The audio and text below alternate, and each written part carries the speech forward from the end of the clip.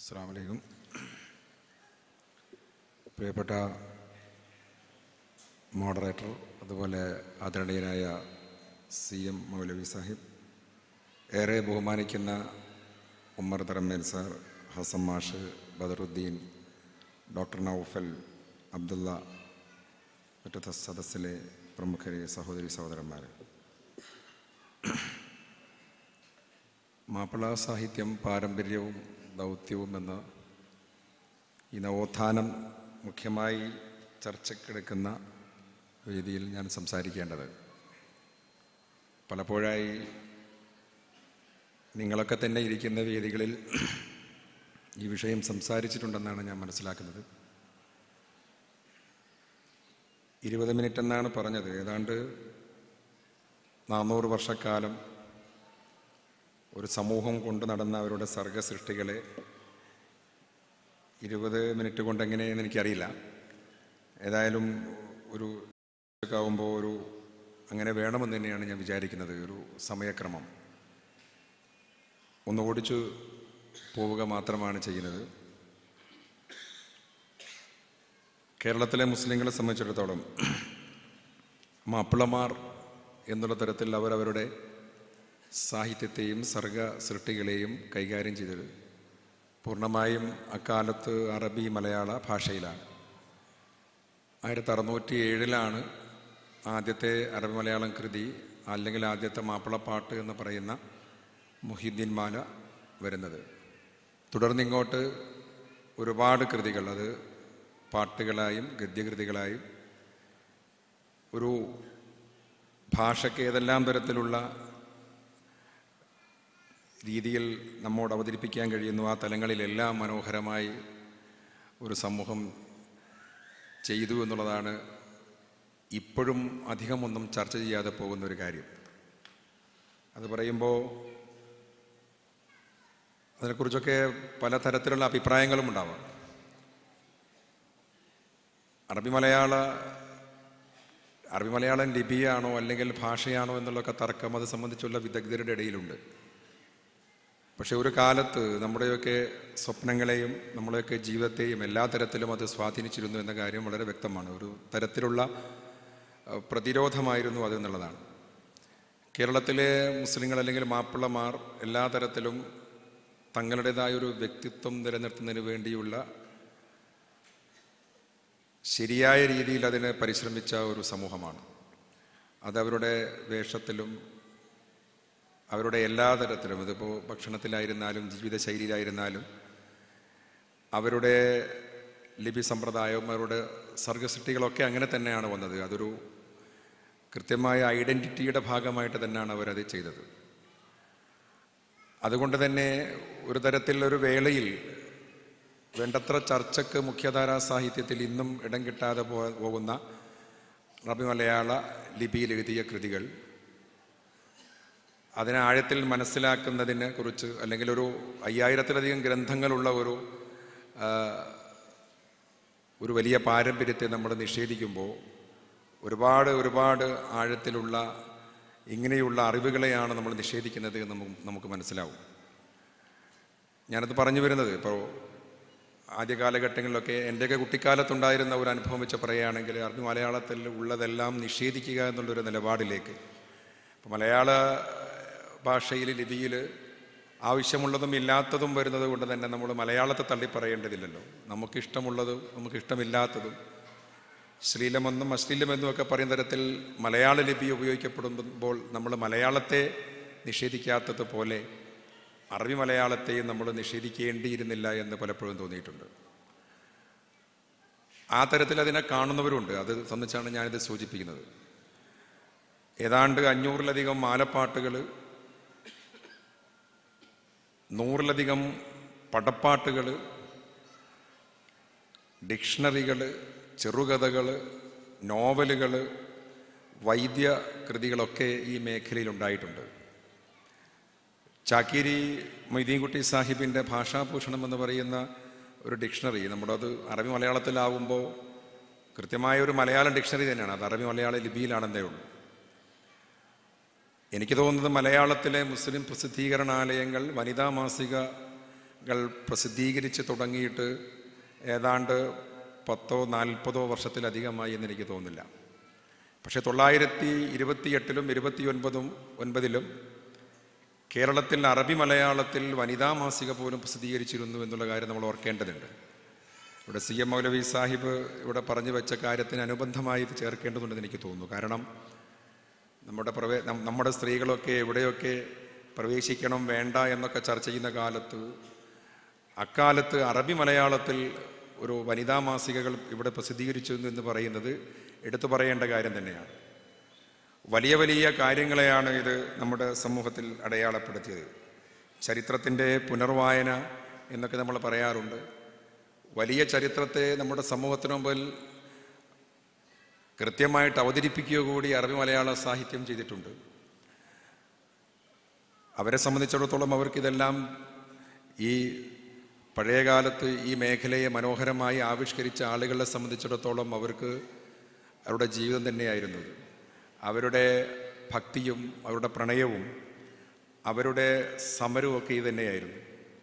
അതുകൊണ്ടാണ് കേരളത്തിന്റെ മുഖ്യധാരാ ചരിത്രത്തിൽ ഇന്നും ഇടം കിട്ടാതെ പോയ പല ചരിത്രകാരന്മാരും അറബി മലയാള സാഹിത്യത്തിലെ ചില കൃതികളിലൂടെ നമ്മൾ അറിയുന്നത് എന്നുള്ളതാണ്. അതുകൊണ്ട് തന്നെ നമ്മൾ അറബി മലയാളത്തെ നിഷേധിക്കുമ്പോൾ നമ്മൾക്കത് അറിയാതെ പോവുകയും ചെയ്യുന്നു എന്നുള്ളതാണ്. ഞാനൊരു ഉദാഹരണമായി പറയുന്നത് ഒരുപാട് പാട്ടുകളെക്കുറിച്ച് നിങ്ങൾക്കറിയാം. പടപ്പാട്ടുകൾ സ്വാതന്ത്ര്യ സമരത്തിൽ ഇടപെട്ടത്. അധിനിവേശ വിരുദ്ധ പോരാട്ടത്തിൽ ഈ ലിപി എങ്ങനെ ഇടപെട്ടു എന്നതിനെക്കുറിച്ചൊക്കെ നമുക്കറിയാം. അല്ലെങ്കിൽ ആ സമൂഹം എങ്ങനെ ഇടപെട്ടു എന്നൊക്കെ നമുക്കറിയാം. കോട്ടുപ്പള്ളി കുഞ്ഞിമരക്കാർ എന്ന് പറയുന്ന അത്ഭുത രത്നമാല എന്നൊക്കെ പറഞ്ഞ കൃതിയിൽ കുനിയിൽ ലിപിച്ചുക്കോയ തങ്ങൾ എഴുതിയ ഒരു കൃതിയുണ്ട്. അത്ഭുത രത്നമാല എന്നാണ് പറയുന്നത്. അതിലൊരു സ്വാതന്ത്ര്യ സമര സേനാനിയെക്കുറിച്ച് പറയുന്നുണ്ട്. അത് പ്രിയപ്പെട്ട വെളിയങ്കോട്ട് മാനാത്തുകൂട്ടിൽ കുഞ്ഞിമരക്കാരനെ കുറിച്ചാണ്. കുഞ്ഞിമരക്കാർ സമരം നയിച്ചത് പോർച്ചുഗീസുകാരോടാണ്. പോർച്ചുഗീസുകാരോട് സമരം നയിച്ച കുഞ്ഞിമരക്കാറിന്റെ ജീവിതം മുഖ്യധാര ചരിത്രത്തിൽ എവിടെയും നമ്മൾ കാണുന്നില്ല എന്നുള്ളതാണ്. Doctor M. ജി. എസ്. നാരായണനെ പോലെയുള്ള ആളുകളോട് വലിയ വലിയ മുഖാമുഖം നടത്തുന്ന ചർച്ചാവേദികൾ ആരോ ഇത് സൂചിപ്പിച്ചപ്പോൾ അദ്ദേഹം പറഞ്ഞത് ഇങ്ങനെ ഒരു കുനിയിൽ ലംബിച്ചിക്കോയ തങ്ങൾ എഴുതിയ ഒരു അറബി മലയാള കൃതിയിൽ മാത്രമാണ് അദ്ദേഹത്തിന്റെ സാന്നിധ്യം എന്നുള്ളതാണ്. വ്യക്തിപരമായി എനിക്കൊരു അനുഭവം ഉണ്ടായത് ഒരു ഒരു പാട്ട് പരിപാടിയിൽ വെച്ച് ഒരു കുട്ടി ഈ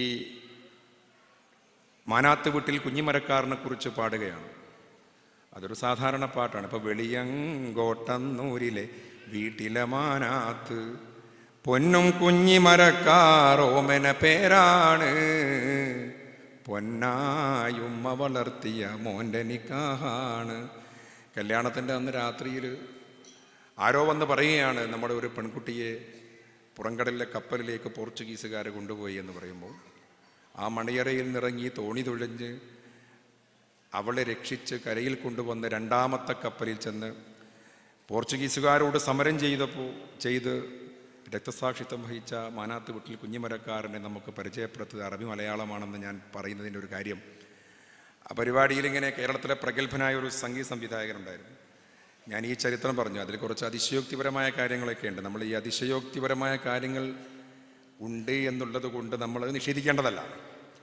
അദ്ദേഹത്തെക്കുറിച്ച് പറഞ്ഞത് അദ്ദേഹത്തിനോടുള്ള ദേഷ്യം തീർക്കാതെ പോർച്ചുഗീസുകാർ ദേഷ്യം അടക്കാ അടക്കാനാവാതെ പോർച്ചുഗീസുകാർ ചെയ്തത് അദ്ദേഹത്തിന്റെ മയ്യത്തിനെ ഏഴ് കഷ്ണമാക്കി കേരളത്തിന്റെ ഏഴ് തീരങ്ങളിൽ കൊണ്ടുപോയിട്ടു. ഒന്നത് ബേപ്പൂരും വടകരയിലും കോഴിക്കോട്ടും ചാലിയത്തും വെളിയങ്കോട്ടും പൊന്നാനിയിലൊക്കെയാണ്. ഇപ്പോൾ അത് കൃത്യമായി ചെയ്തു വരുന്നത്. അവിടെയൊക്കെ അതിന്റെ ആഘോഷ പരിപാടികൾ എല്ലാ വർഷവും നടത്താറുണ്ട് എന്നല്ലാതെ. അയാൾ ആരാണ് എന്ന്. ഞാൻ ഈ അടുത്ത കാലത്ത് കോഴിക്കോട്ട് കോഴിക്കോട്ട് ഒരു ആഘോഷ പരിപാടികൾ സംബന്ധിക്കും അതുമായി ബന്ധപ്പെട്ട ചോദിച്ചു ഇയാൾ ആരാണ്? അതിനെക്കുറിച്ച് പൂർണമായ ഒരു ധാരണയില്ല എന്ന് മാത്രമല്ല എതിർക്കുന്ന നമ്മൾക്കും ഇല്ല എന്നുള്ളതാണ് പ്രധാനപ്പെട്ട ഒരു പ്രശ്നം. ഇതിനിടയിൽ ഒരു ചരിത്ര പുരുഷൻ വിസ്മൃതിയിലാവുകയാണ്. അപ്പോൾ ഏഴ് കഷ്ണമാക്കി എന്നുള്ളതോ ഏഴ് തരത്ത് ഖബറുണ്ട് എന്നൊക്കെ ചിലപ്പോൾ അതിശയോക്തിയാവാം. പക്ഷേ അങ്ങനൊരു വലിയ മനുഷ്യൻ നമ്മുടെ രാജ്യത്തിന് വേണ്ടി മരിച്ചിട്ടുണ്ട് എന്ന കാര്യത്തിൽ തർക്കമില്ല. ഇതാണൊരു പ്രധാനപ്പെട്ട പ്രശ്നം. നമ്മുടെ ചരിത്രത്തോടുള്ള നമ്മുടെ സമീപനത്തിന്റെ ചില വിഷയങ്ങളാണത്. ഈ കുനിയിൽ ലിംബിച്ചക്കോയ തങ്ങളുടെ അത്ഭുതരത്നമാല എന്ന് പറയുന്ന കൃതിയിലൂടെ മാത്രം അറിഞ്ഞ ഒരു മനുഷ്യൻ. എന്നോട് ആ സംഗീത സംവിധായകൻ പറഞ്ഞത് ഞാൻ ഈ ചരിത്രം പറഞ്ഞപ്പോൾ ഈ കുട്ടി പാടുമ്പം പറഞ്ഞപ്പോൾ പറഞ്ഞു എന്റെ കൈ പിടിച്ച് പറഞ്ഞു നിങ്ങളുടെ ഈ മാപ്പിളമാരെന്ന് പറയുന്ന ഒരു സ്വാതന്ത്ര്യ സമരത്തിൽ എത്രയെത്ര സംഭാവനകളാണ് അർപ്പിച്ചത്. ഞങ്ങൾക്കൊന്നും ഇങ്ങനെ വലിയ കാര്യങ്ങളൊന്നും ഞങ്ങളുടെ നാടിന് പറയാനില്ല എന്ന് ഞങ്ങളുടെ സമൂഹത്തിന് പറയാനില്ല എന്ന് അവർ പറയുകയുണ്ടായി. അപ്പം അങ്ങനെയുള്ള ഒരുപാട് ഒരുപാട് കാര്യങ്ങൾ നാം മനസ്സിലാക്കേണ്ടതുണ്ട്. നവോത്ഥാനത്തിന്റെ ഒരു ഘട്ടത്തിൽ ഇപ്പോൾ കൃത്യമായി നമ്മുടെ സമൂഹത്തിന് മനസ്സിലാവുന്ന തരത്തിൽ അവർക്ക് പ്രാപ്യമായ ഭാഷയിൽ പാട്ട് എഴുതിയ എത്രയോ എത്രയോ ചരിത്രങ്ങൾ നമ്മുടെ മുമ്പിലുണ്ട്. ഞാനതൊന്നും ഇവിടെ നെട്ടിപ്പരത്തി പറയാനുള്ള സമയമില്ല. കാരണം ഇവിടെ അത് ഒരു വേള നിങ്ങൾക്കൊക്കെ മുമ്പത്തേക്കാൾ വിഷ്വൽ മീഡിയയും സോഷ്യൽ മീഡിയയും സജീവമായപ്പോൾ അതിന്റെ അന്വേഷണങ്ങൾക്ക് ഏറെ എളുപ്പമുള്ള ഒരു കാലത്താണ് നമ്മൾ ജീവിക്കുന്നത് എന്നുകൊണ്ട് തന്നെ. പക്ഷേ നമ്മൾ ആലോചിക്കേണ്ട ഒരു കാര്യം ഇതിന്റെ സാധ്യതകൾ ഇന്നും ഉണ്ട് എന്നുള്ളതാണ്. ഒരു കാലത്ത് വളരെ ഗൗരവമായിട്ടുള്ള ഒരു സമീപനം ഈ വിഷയത്തിൽ നമ്മുടെ നമ്മുടെ മുമ്പിലുള്ള മുമ്പുള്ളവർക്കുണ്ടായിരുന്നു.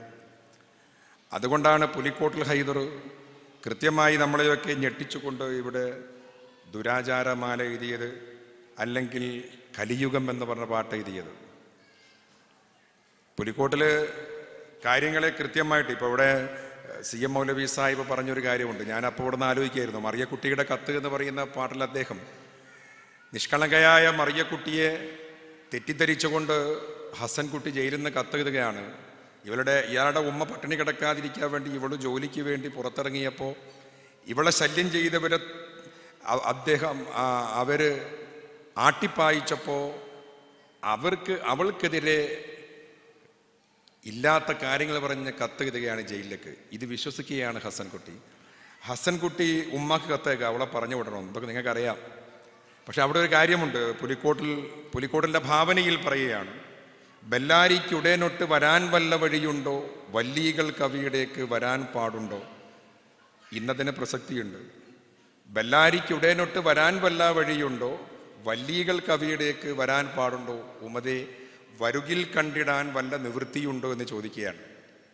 അപ്പോൾ ആ ചോദ്യം അങ്ങനെയുള്ള ഒരുപാട് കാര്യങ്ങൾ കാലത്തിനപ്പുറം നമ്മൾ വായിക്കുകയാണ് പുലിക്കോട്ടിൽ നിന്ന് സ്ത്രീ എങ്ങനെയാണ് അറബി മലയാള സാഹിത്യത്തിൽ ചർച്ചയാവുന്നത്? മറ്റതൊക്കെ നമ്മൾ ഒരുപാട് ഒരുപാട് മേഖലയിൽ ചർച്ച ചെയ്യപ്പെട്ട കാര്യങ്ങൾ തന്നെയാണ്. ഇതൊക്കെ നമ്മൾ ആലോചിക്കേണ്ടതാണ്. പുലിക്കോട്ടിൽ ദുരാചാര മാല തന്നെ എഴുതി കാതുകുത്തിന് അങ്ങനെയുള്ള ആര ആചാരത്തിന് എതിരെ അദ്ദേഹം പാട്ട് എഴുതി. ഒരുപാട് കാര്യങ്ങൾ. ഇവിടെ സ്വാഗത പ്രസംഗത്തിൽ നമ്മുടെ പ്രിയപ്പെട്ട സുഹിൽ സാഹിബ് പറഞ്ഞ ഒരു കാര്യമുണ്ട്. അപ്പോൾ യു കെ അബൂസഹലെ കുറിച്ച് അദ്ദേഹം പറഞ്ഞു. ഞാൻ ആലോചിച്ചിട്ടുണ്ട്. അബൂസഹില ചെയ്ത ഏറ്റവും വലിയൊരു കാര്യം എന്താണെന്ന് ചോദിച്ചാൽ നമ്മുടെ സാധാരണക്കാരുടെ മലയാളത്തിൽ കൃത്യമായി മനസ്സിലാവുന്ന തരത്തിൽ ദൈവത്തിന്റെ ദൃഷ്ടാന്തങ്ങളെയും നമ്മുടെയൊക്കെ വലിയ വലിയ കാര്യങ്ങളെ നം- ആ, ആ, ന- നമുക്ക് ആവശ്യമുള്ളതും പഠിപ്പിച്ചു എന്നുള്ളതാണ്. അതിന്റെ ഒരു ട്രെൻഡിന് തുടക്കമിട്ടു എന്നുള്ളതാണ്. അതുകൊണ്ടാണ് അദ്ദേഹം മിന്നിത്തിളങ്ങും മിന്നാമീനും നിന്റെ കൂട്ടമെന്നോണം വിണ്ണിലിരുന്നു വികൃതി കളിക്കും താരങ്ങൾ. മണ്ണിനു മീതെ ദീപാലങ്കൃതമായൊരു മംഗലപ്പന്തൽ തന്നിൽ കടാതെ കറങ്ങി തിളങ്ങും ഗോളങ്ങൾ. ഈ ആകാശം ഒരു മംഗലപ്പന്തൽ പോലെ വിധാനിച്ച ഇതിന്റെ പിന്നിലുള്ളത് മനോഹരമായ ഒരു ഭക്തിഗാനം. റഹീം മൗലവി കുറ്റ്യാടി ഇതിന്റെ വേറൊരു തരത്തിൽ എഴുതിയിട്ടുണ്ട്. വട്ടം കറങ്ങുന്ന ഗോളങ്ങൾ വിണ്ണിൽ വെട്ടിത്തിളങ്ങുന്ന താരങ്ങൾ മണ്ണിൽ വെട്ടം ചൊരിയുന്ന ദീപങ്ങൾ പൊട്ടിത്തകരാതെ േരാതെ സൃഷ്ടിച്ചത് ഈ മണ്ണിലാരാണ് ഇങ്ങനെയുള്ള ഒരുപാട് കാര്യങ്ങൾ. അപ്പോൾ പലപ്പോഴും ഈ പാട്ടിന്റെയൊക്കെ തലത്തിൽ അതിന്റെ ഒരു ആഘോഷമായി വരുമ്പോൾ നമ്മളിത് ശ്രദ്ധിക്കാറില്ല എന്നേ ഉള്ളൂ.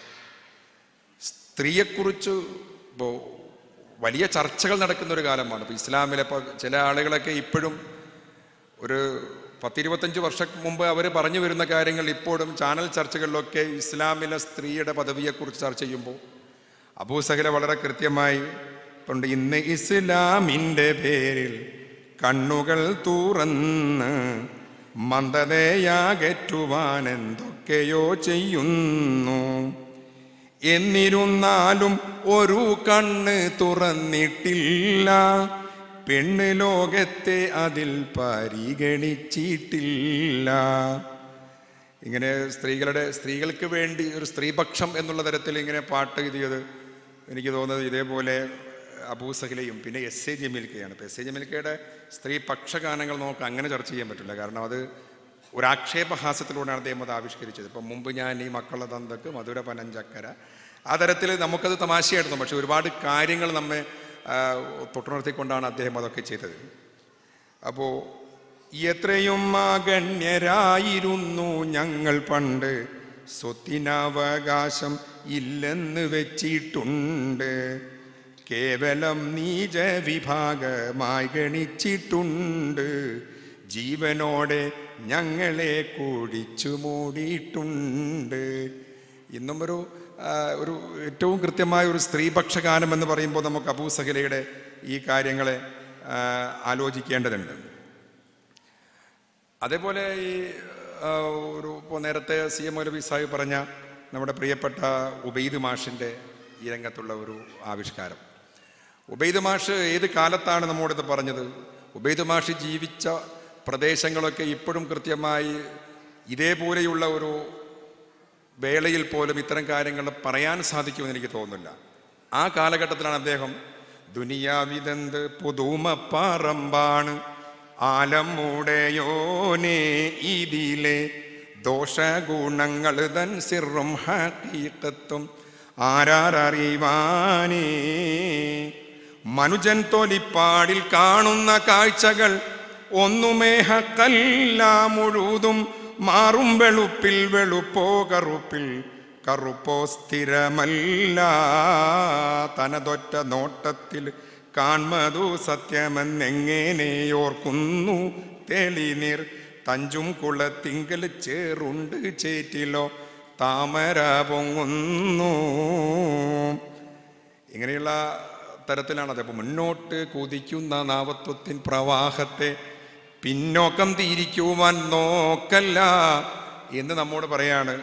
അക്കാലത്താണ് ഉബൈദ് പറഞ്ഞത് ഉബൈദ് ഐക്യ കേരളം എന്ന ആശയത്തോട് കേരളത്തിലെ ഉത്തര കേരളത്തിലെ അത്യുത്തര കേരളത്തിലെ ആളുകൾ പുറംതിരിഞ്ഞു നിന്നപ്പോൾ അദ്ദേഹത്തിന്റെതായ രീതിയിൽ അദ്ദേഹം ഒരു പ്രതിരോധം തീർക്കുകയായിരുന്നു കേരള ഗാനത്തിലൂടെ.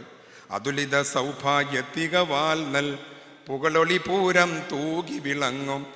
അനിതര സൽഗുണശാലിനി മാമക കേരള റാണി. ജയ ജയ ജനനി അഭിനവ ഭാരത ഭൂഷണമാകിന സുമധുരവാണി.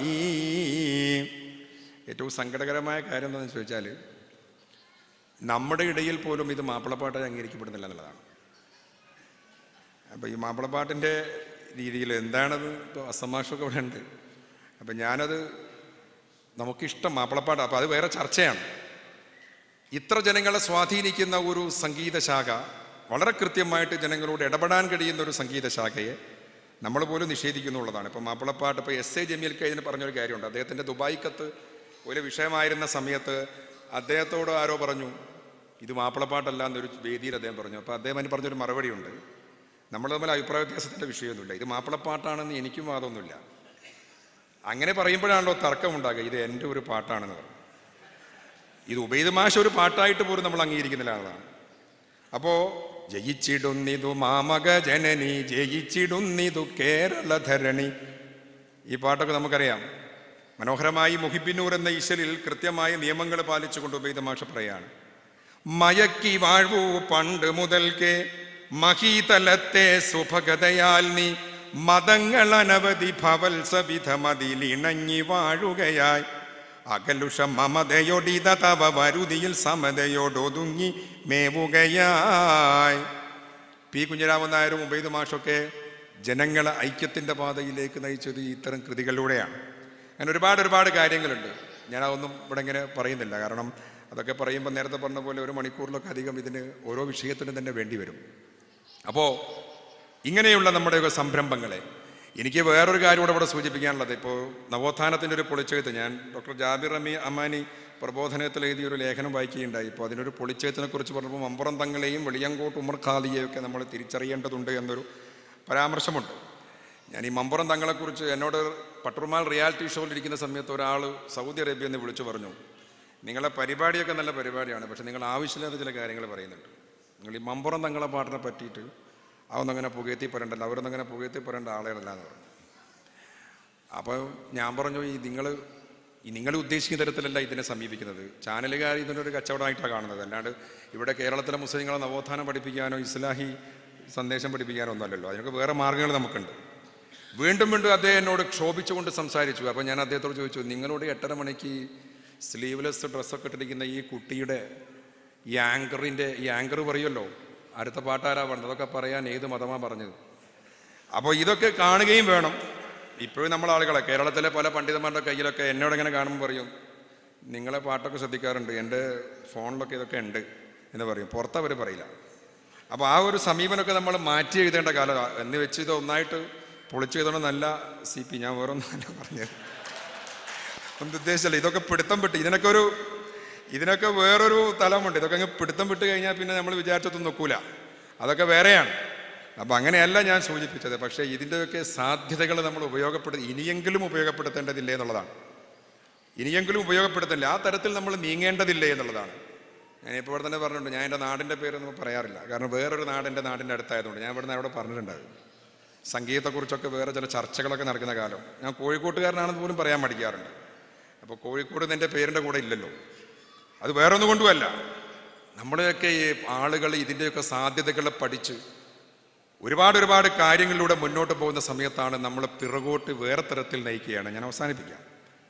അപ്പോൾ എസ് എ ജമീൽ കെ പോലെയുള്ള ആളുകളുടെ ഇപ്പോൾ ഒരൊറ്റ ഞാൻ പലപ്പോഴും കോഴിക്കോട്ട് അദ്ദേഹം അദ്ദേഹത്തിന്റെ ഒരാശയം എങ്ങനെ ജനങ്ങളെ എത്തിക്കുന്നു? നമ്മൾ ചില കടുംപിടുത്തങ്ങളൊക്കെ ഇപ്പോൾ അവസാനിപ്പിക്കേണ്ടതുണ്ട്. ചില കടുംപിടുത്തങ്ങൾ ഭാഷയുടെ കാര്യത്തിലൊക്കെ മനുഷ്യന് മനസ്സിലാവുന്നത് തന്നെയാണ് പാട്ട്. മനുഷ്യന് മനസ്സിലാവുന്നത് തന്നെയാണ് പാട്ട്. അതിൽ മാപ്പിളമാർ ചെയ്തത് അക്കാലത്ത് അവരുടെ അവരുടെ ഒരു രീതിയെ അവർ പിന്തുടർന്നത് അക്കാലത്ത് അങ്ങനെ ചെയ്തത് അക്കാലത്തിന്റെ പ്രതിരോധമാണത്. ഇന്ന് നമ്മൾ അങ്ങനെ ചെയ്യണമെന്ന് പറയുന്നതിൽ യാതൊരു അർത്ഥവുമില്ല.